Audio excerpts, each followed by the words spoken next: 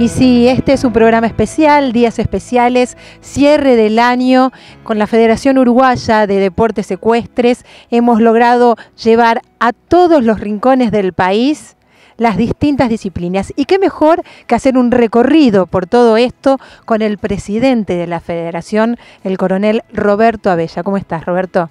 Muy bien, María, muchas gracias por esta oportunidad de de alguna manera cerrar este ciclo de programas de desafío ecuestre que como el nombre lo dice, ha sido todo un desafío. Este excelente equipo de producción que conforman con Matías, alguien que no se ve porque está atrás de cámaras, y tú que le, ponen tanta, tanta garra y corazón para que esto salga adelante. Y ni que hablar que también gracias a la recepción que hemos tenido en, en, las autoridades del Canal 10 y Canal A más B que nos ha permitido lograr de alguna manera este sueño largamente anhelado. Has logrado, ha logrado FUDE eh, cumplir con los objetivos propuestos en estos últimos cinco años y realmente esto es muy importante. Sí, seguramente que este año 2014 es un año muy especial porque se han conseguido cosas muy importantes. En todas las disciplinas tenemos hoy jinetes, participantes eh, defendiendo nuestra, nuestra bandera. El desarrollo del deporte a nivel nacional, hoy tenemos de los 13 clubes afiliados, 6 son del interior el desarrollo, la motivación y, el enfoque primordial que le damos a los jóvenes.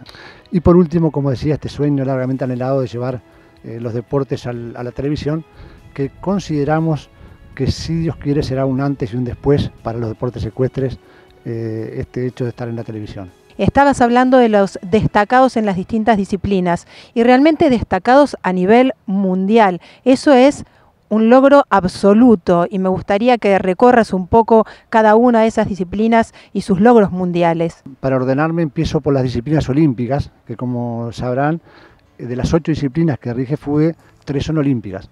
De esas tres disciplinas olímpicas tenemos eh, de alguna manera el hecho histórico que en, en, un año y poco tenemos los Juegos Olímpicos en Río 2016, que de alguna manera estamos eh, apuntando con todo el, empuje hacia esa meta. En las tres disciplinas olímpicas se logró clasificación para el Panamericano, que es el paso previo para soñar con Río. Eh, pasaría a, relatar un poco lo que ha sido el año para salto, sin lugar a dudas la disciplina que ha logrado mayores logros y, y cumplir con la mayor cantidad de objetivos. Para empezar, eh, la, la clasificación, como decía, de dos jinetes al Panamericano, la medalla de plata de Francisco Calvelo en los segundos Juegos de la Juventud en Nanjing, algo que realmente es, eh, impensable, es algo, si bien ya tenemos el precedente de Marcelo Chirico, que en los, primeros Juegos en Singapur obtuviera la medalla, la histórica medalla de oro olímpica, ahora se repite con esta promesa que es Francisco Calvelo en un segundo puesto, una medalla plata por equipos. Tenemos el primer lugar a nivel mundial de la Copa Challenge, categoría A, que a través de nuestro jinete Jorge Rossi eh, lograra ese, estar al, tope de esa, de esa clasificación en, en, cientos de jinetes que participan en todo el mundo en las mismas condiciones y que se ganó el derecho de alguna manera a participar en las finales del año 2015 en lugar que todavía no está definido. En una modalidad similar, es decir, competencias que se realizan en el país pero juradas por jueces internacionales en idénticas condiciones en, en 10 zonas a nivel mundial, con más de 50 países, Uruguay logra con un equipo de juveniles el segundo lugar individual a través de Juan Serra y el, y el segundo lugar también por equipos, algo que de por sí habla la, la magnitud del, logro alcanzado. Y en salto, por último, la posibilidad también histórica de participar en la final de la Copa del Mundo, ya que nuestro jinete eh, Marcelo Chirisco eh, se encuentra en tercer lugar. Sudamérica tiene dos cupos para la final y Marcelo se encuentra en tercer lugar a muy pocos puntos del segundo.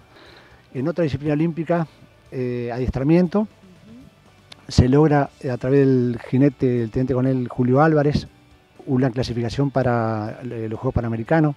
En esta disciplina se, destaca la, fuerte inversión privada en la cual le permite a algunos soñadores jinetes adquirir caballos importantes en Europa para poder de alguna manera eh, tener mejor eh, clasificación internacional y la participación eh, de un jinete español cuatro veces olímpico en parada completa que se nacionalizó uruguayo que prontamente también defenderá nuestros colores. En parada completa la clasificación de un equipo recientemente en Barreto, San Pablo, para el Panamericano. El teniente Coronel Quintana es el jinete más destacado en el ranking y Francisco Calvelo como juvenil. Quintana en senior y, Calvelo en los juveniles. En enduro, ¿qué, vamos a hablar de enduro? Seguramente la disciplina, sin lugar a duda, la disciplina ecuestre eh, lejos más, más, ganadora, con mayores logros alcanzados.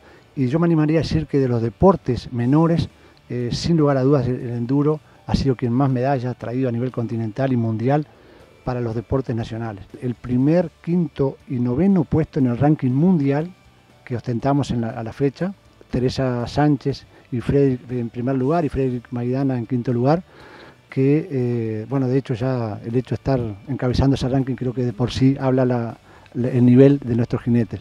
El sexto y decimocuarto lugar en binomios juveniles, eh, también un ranking a nivel mundial, entre más de 600 jinetes y caballos ranqueados en el mundo.